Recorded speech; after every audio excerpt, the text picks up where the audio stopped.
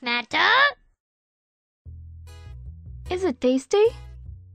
Yeah, very much. But I won't give you. Okay, my magic wand would give me.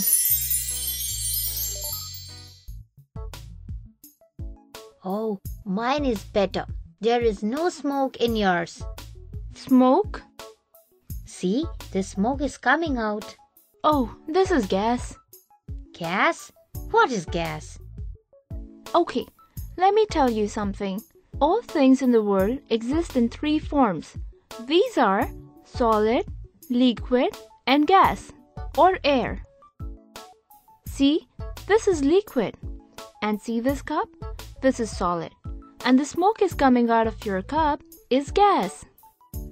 Uh, I don't understand. Solid, liquid, gas. My magic wand would show this.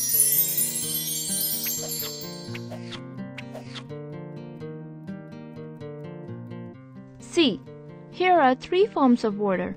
Can you tell? Yes, this is solid. Oh, this is liquid. And this is gas. Do you want to see the difference among solid, liquid, and gas? Yes, yes, but how? Let's become very small and see these things from inside. Let's first enter the solid. Oh, what are these small, small things? These are small lumps. Everything in the world is made of small molecules. Oh, In Greek, small is moles, lumps is coals, so small lumps is called molecules. In Greek language, small is moles, lumps in coals, so small lump is called molecules. oh, it is very tight here. I can't even move my hands.